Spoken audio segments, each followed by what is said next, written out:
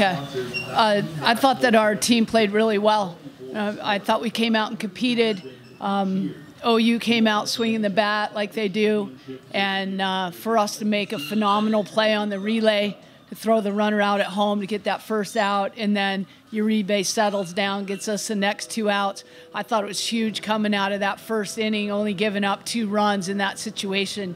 So we know that we can. Uh, we're a team that can strike offensively, and always felt like we were right there within reach. So I was really proud of the way we handled that. Um, I thought uh, we, we squared the ball up a lot. We we barreled the ball up a bunch and uh, couldn't get any luck for sure uh, hitting it right at people. But I, I, thought we did a nice job at the plate to compete.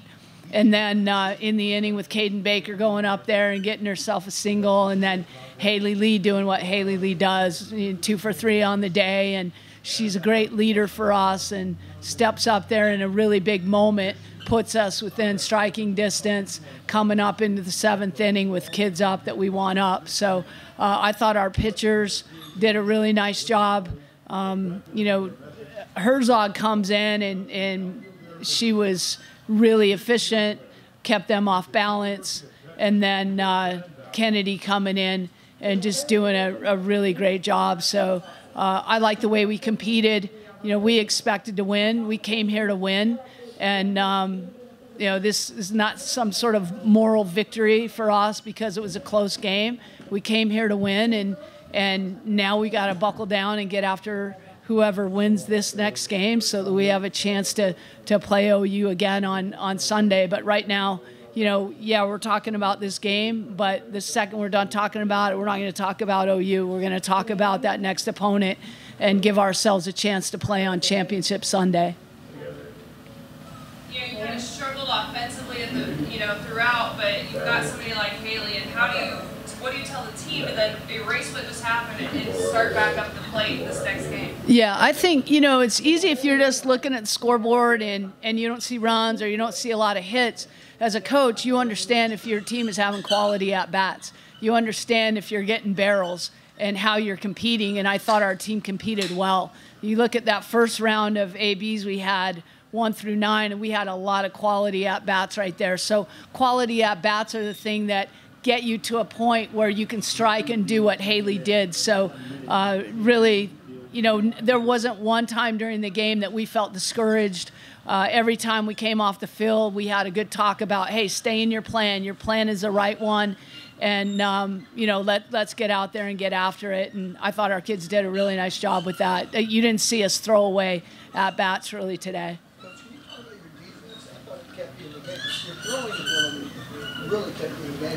Yeah, I thought we, we did such a great job of getting outs when they gave us outs. You know, we took every opportunity to get an out when we had it. Um, I, the two live arms with those middle infielders, those relays that our outfielders then to our middles made phenomenal plays. I mean, those are big league plays right there. And, you know, I really believe in our talent. And I thought defensively we did everything we're supposed to do to, to keep a, an explosive team like that within reach.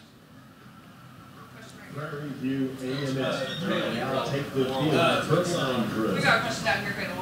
Sorry. Okay, go ahead. Coach mentioning there aren't really moral wins, so I imagine, especially where you guys finished this game, there's some real momentum going the rest of this region. Just how are you feeling, you guys' chances, I guess, moving forward? Yeah, I think there is momentum in terms of how we're playing the game you know and, and really if you're talking about process and not outcome then that makes sense that we can take momentum from this. And you can't be a coach who says we have to focus on process and then really all we're doing is focus on outcomes. And so I, I think that our team feels really comfortable right now. We're playing really good softball and we have been for the last few weeks of the season, and our pitching staff is really locked in, and our hitters just keep competing. So, you know, I know that our team will leave here mad because we didn't win, but also with confidence. So like, this is what it takes to play the game at this high level.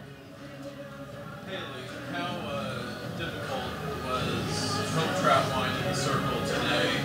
And was it a case of was she not as strong in the fifth, sixth, seventh as she was first or fourth, or were you, were you just going to school on her and therefore getting better at bats? how did that play out? Um, we watched a lot of film on her coming into this weekend, so we kind of caught on to some pitch, pitch sequences and kind of learned her thought process and her approach. And we kind of just attacked her best style. We knew she was going to come out and throw the best pitches she could, and we knew we had to jump on them early, and and we did. We we barreled up balls like Coach mentioned. Like we didn't have any throwaway at bats, so we came out, attacked the stuff we knew we were going to get, and we plan to continue to do that the rest of this weekend. How much you played a pretty tough schedule? How much of those games, SEC type uh, slate, prepare you for a weekend like this to fight back and try to get the? You know, every weekend is a is a fight. It's a grind. You know, we prepare, we learn our pitchers, we study theirs. Uh, we just come to prepare our best uh, for these games. And having played one of the toughest schedules in the SEC, like we're here, we're ready, we're ready to fight, we're ready to kind of go in the ring, whatever it takes. And I'm very proud of this team. We fought to the end, and we're going to continue to fight to the end. And I'm very proud. Coach, did you see that same kind of side? You mentioned the leadoff home run first. Just see the team kind of rally from that, not get down. What did you see? Yeah, what I saw from our team is maturity, and that we've had to learn along the way. Our SEC schedule was the toughest of any SEC um, team.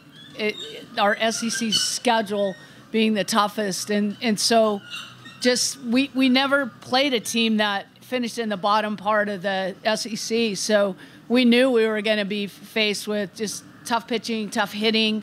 And our team has done a really nice job of not getting discouraged, not letting down, understanding you're going to punch us, and we're going to punch right back. And I talked to our team a lot this morning about runs. They're going to make a run, and then we're going to push and make a run too. And you saw that happen. And I thought that you know our ability to you know bend and not break is is critical when you're trying to make a run in postseason. So that experience that we have day in and day out playing in the SEC and those teams that we played, you can't. You, there, you, there's no way you can replicate that and and I think it makes us a stronger team. And we've had our challenges this season, and we've just never quit. And you can see us playing our best softball right now. Coach, um, Natty ran herself with a couple outs on the bases today because you guys executed beautifully in those moments. And I'm just wondering, yourself as an offensive coach, how do you, between sending the runner because you think they'll get there versus sending the runner because in the name of an aggressive identity, how does how does a coach sort of set those, Yeah. those? I, I think every coach has her or his own style and philosophy. And so if you're an aggressive coach, you're always aggressive. You don't you don't hold back. That's how you play the game. That's how you coach your kids. Um, I will say that uh, I don't think people realize what a live arm Coco Woolley has. That throw that she made to home was phenomenal. I mean, I, I hope that uh, Coach Gasso and everyone else would tip their cap to Coco Woolley and understand that, yeah, she would send her kid every time in that situation. And our freshmen stepped up and made a phenomenal play. And I think when you're a coach and you're aggressive and you have a philosophy, you stick to it. And then you you let the chips fall where they may.